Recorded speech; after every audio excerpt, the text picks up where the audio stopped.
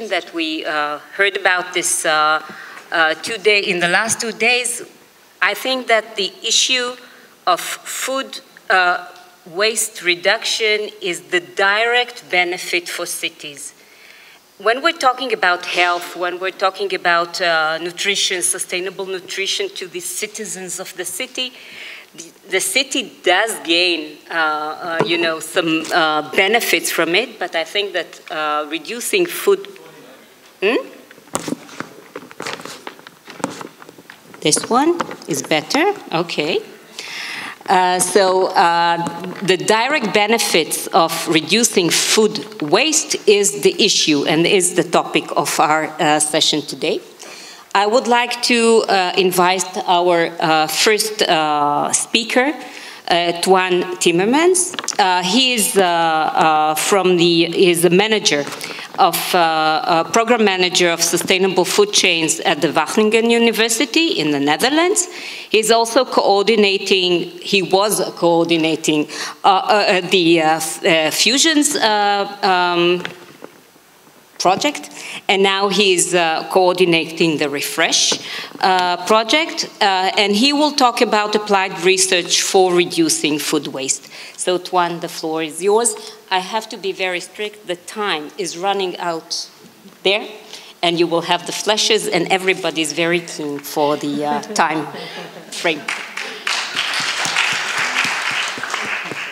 Okay, th thank you. Is it is it on or? Yeah, it's on now. Thank you. It's a, it's a pleasure to be here and I have about 15 minutes to share some of our insights, but I will focus mostly on, of course, the role of the cities. Because to my opinion, cities are crucial as a mechanism to work on reducing food waste, because food waste is, is a global concern. But we can only solve it if we look for what are the local cultures, where is the energy, where can we develop the coalitions of the willing, and see it as also a learning environment to test best practices, as living laboratories, as see what works and how can we make a sustainable change and a better food system locally. But it starts from thinking big. We all know the figures about food waste. According to the FAO estimates, one third of the food that's produced globally is lost or wasted somewhere in the supply chain. There's a new SDG set in 2015 that aiming for 50% reduction of food waste around the world. And that, with all type of different drivers, have given this topic a huge momentum. I've been working on it for about 18 years. In the beginning, nobody was interested in food waste. But we knew the figures already at that time, and it was a huge issue. But a lot has changed. A lot of new drivers came into the area. And we just cannot afford, if we look at resource efficiency, if we look at what the, the yeah, the negative impact for, for society are, both on the social and the ecological end, to do something about it. But we need to work on the practical solutions also, not to forget it. We don't need one solution. There's no silver bullets. We need thousands of solutions. But, as I always say, you need to put it into a holistic framework. Not focus on the symptoms, on the symbols, but look how holistically systemic we can eradicate this issue and reduce food waste with 50%. That means we can only do that, in my opinion, if we have an, an ecosystem where there is innovators, where there's companies who can use their skill for impact, and there's the role of the national government, but also of the local municipalities or the regions to make things happen. Here's an example of how we found a way that 18 social innovators that all produce products, good products, tasty products from food that would otherwise have been wasted. How we have brought them together under one umbrella called Food Waste is Delicious or Food Waste is Precious and giving access to the market because that's what is also needed. If you want to become from startups to scale up, you need to be able to use the momentum and the ecosystem to get access to the normal people. And that's where cities can be of an important and, and, and strong contribution there. So in this case, in the city of Wageningen, Wageningen has a covenant on food waste linked to the Climate, uh, Climate Act. Of course, many cities in the world and in Europe have now a pact on climate change. All want to be carbon neutral. I will say you cannot do that just by looking at energy and logistics. You need to incorporate food into your system. Maybe the food is not produced there, but the impact of the food is huge. 30% of greenhouse gases, 80, 90% of water usage is connected to the producing of food. So if you waste it in your cities, that could be an important role, but we have to look at the measurement how to incorporate that. So here we see a pact of the local municipalities, of the entrepreneurs, of a franchisor of the supermarket, all very proud like, we've done this. We have created an aisle, the first in the world, giving access to the good quality of products to the normal, the regular customers. So like 10,000 a week. But this for us is a living laboratory. So we do research, applied research on what's the consumer acceptance, what's the best positioning, what are the type of products that go well.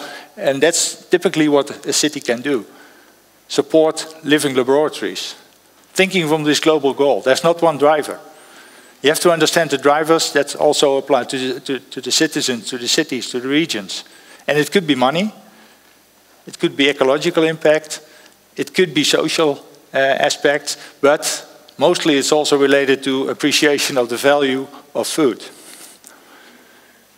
We have this big goal, but we have to make it come into action. But the figures talk to itself. But on the other hand, we need better figures. We need to understand how much food is wasted in your cities by your consumers, but also at the national scale, what companies waste. We are not there yet that we have good figures, and there is still a block in transparency. Not many are willing, if they have the figures, to share that. That's something we are working on long time. But this is in general the overview, first time published in 2015, of how much food is wasted in Europe. For the first time built on a harmonized framework with agreed frameworks on definitions, destination, etc.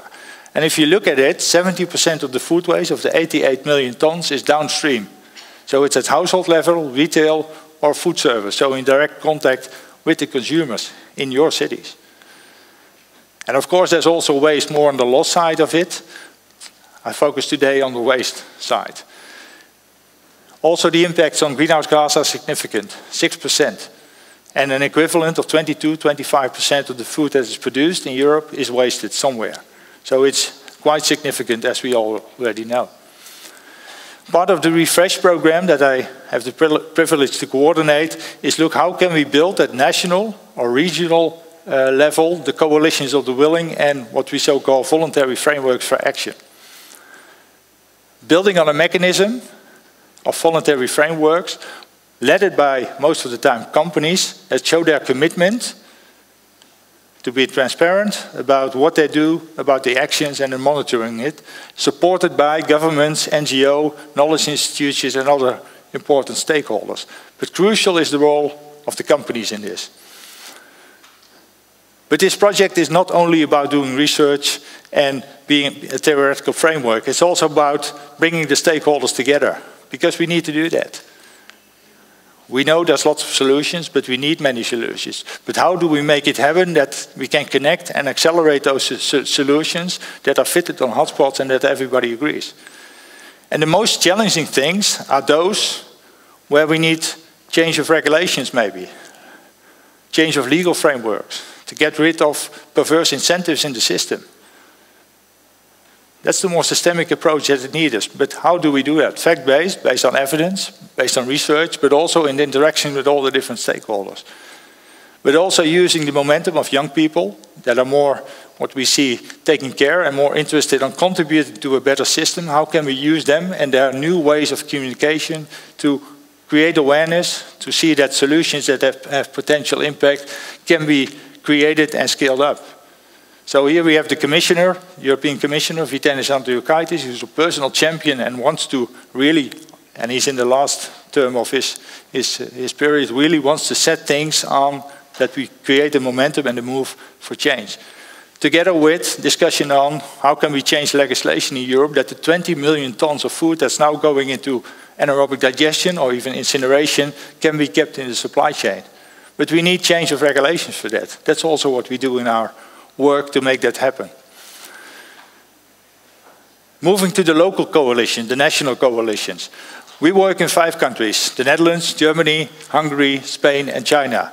All, all setting up and making sure that we have platforms that can accelerate and move beyond the point where they are now, all in different stages of maturity.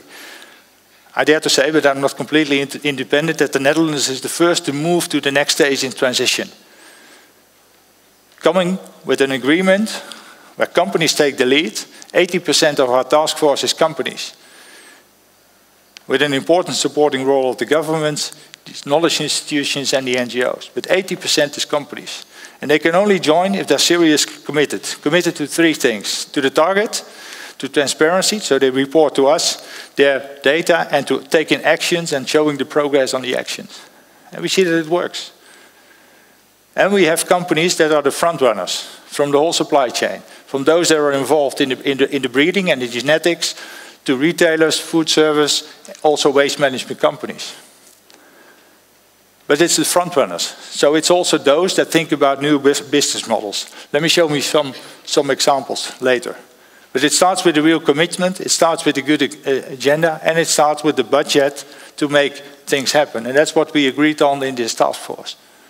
But it's also a top-down, bottom-up process. So the companies build together the agenda for the future for halving food waste in the Netherlands. It's one of the first countries in the world in 2030. So we have only 11 more years to go. That means we have to find in the Netherlands 1 million tons of food that's currently going to waste to keep it in the food supply chain. And that sounds like a huge challenge, and it is. But building on roadmaps where we can see where is the potential and what is needed, what are the hotspots, we have the confidence that we can do so. But it will ask for some very significant changes focusing on four different areas. But let me first start with this principle of the food use hierarchy. We always say prevention comes first.